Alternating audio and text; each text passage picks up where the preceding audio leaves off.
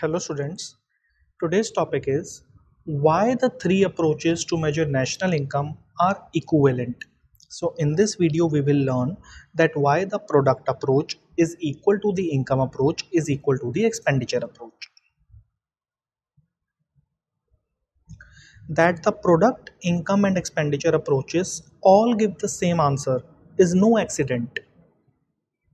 The logic of these three approaches is such that they must always give the same answer. Let us first start with the case that why the product approach is equal to the expenditure approach. The market value of goods and services produced in a given period is by definition equal to the amount that buyers must spend to purchase them. Let's understand the meaning of this statement through a simple example. Suppose that the market value of the orange juice is $1.50. This is the this is its market value. Now the buyer must spend $1.50 in order to purchase the orange juice, right? That means the product approach the product approach which measures the market value of goods and services is equal to the expenditure approach ये मैंने एक बहुत ही simple example के through आपको समझाई है बात कि अगर ऑरेंज जूस की जो मार्केट वैल्यू है वो dollar one point five zero है तो बायर भी कितना स्पेंड करेगा ऑरेंज जूस को परचेज करने के लिए? Dollar one point five zero so simple the product approach which measures the market value of goods and services is equal to the expenditure approach. That is the amount spent by the ultimate user. Okay.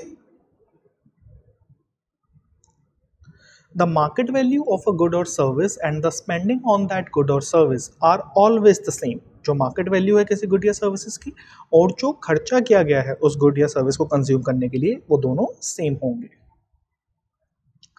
So the product approach which measures market values and the expenditure approach which measures spending must give the same measure of economic activity. Now let us see the second case that why the income approach is equal to the expenditure approach. The seller's receipts, when I am saying seller's receipts, that means this can be termed as the expenditure expenditure incurred by ultimate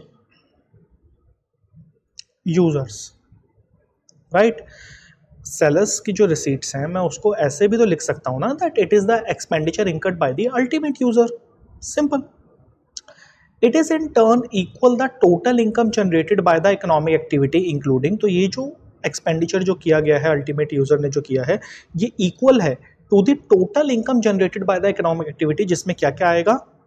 First one income received by the workers and suppliers भाई जो भी उनको wages या salary जो पे पे की गई होंगी that is the income received by worker and supplier वो उनकी इनकम हो गई।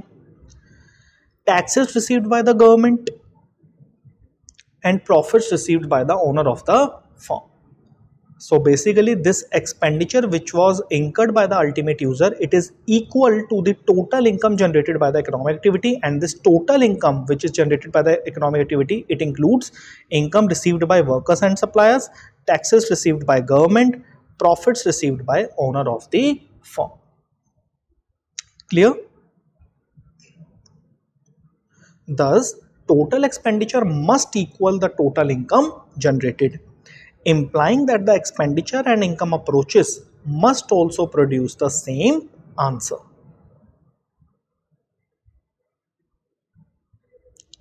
Now, we have seen this thing that total production is equal to the total expenditure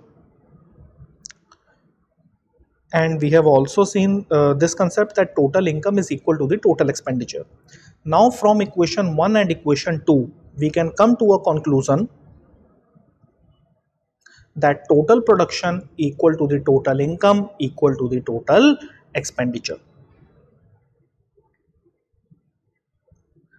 The above equation is called the fundamental identity of national income accounting and forms the basis for national income accounting तो ये जो equation है, इसे हम कहते हैं fundamental identity of national income accounting okay thank you